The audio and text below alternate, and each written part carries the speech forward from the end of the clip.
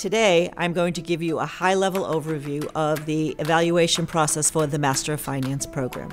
I want to begin by saying there are no tricks. Throughout this process, whether it be the written application or the in person interview, we are all about trying to get to know you better and give you an opportunity to get to know us.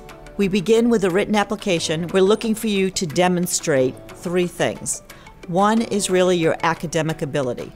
The second is your interest and passion in the field of finance. And third is around personal attributes or leadership skills and your ability to really work well within a team.